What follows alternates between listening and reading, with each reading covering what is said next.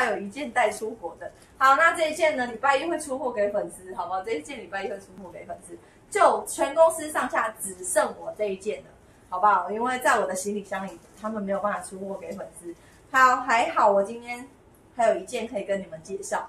好，昨天全部都抢光了啦，没有关系，七天之后会再到一批货，请你们赶快自己去预定哈。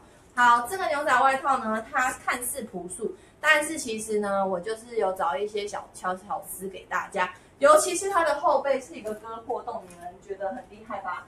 好，近期妞妞有说，我不会再出任何的牛仔外套，就只会有一款，因为我只想让大家有一件牛仔外套的选择，我不希望你们三心二意，这一件牛仔外套就一直穿到底，不要乱花钱。所以呢，我选定这一件呢，就是我觉得最好看、最实穿、最百搭，它的长度就是一般的长度，那其实。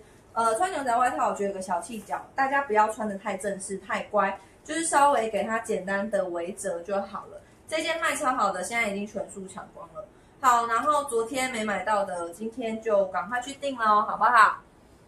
谢谢大家，谢谢大家的祝福。好，然后它又是大大件的，所以是 one size，完全不会挑人穿，每个人都可以穿。那我觉得就是一些拍照啊，或是颜色色调，我觉得都非常非常的好看。呃，这一季你只要买这一件牛仔外套就好，不需要再去别的卖场，也不要再花钱买牛仔外套喽，知道吗？你就只要买一件就好了。我已经帮大家挑选好最好看的一件。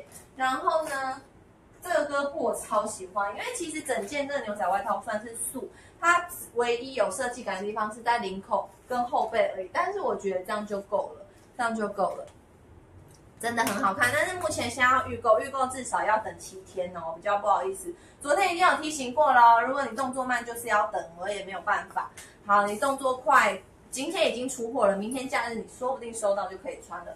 妞妞的卖场是这样子哦，如果你够快，跟的够快，你就一定可以很快的拿到商品。好，所以牛仔外套也是我们非常非常夯的商品。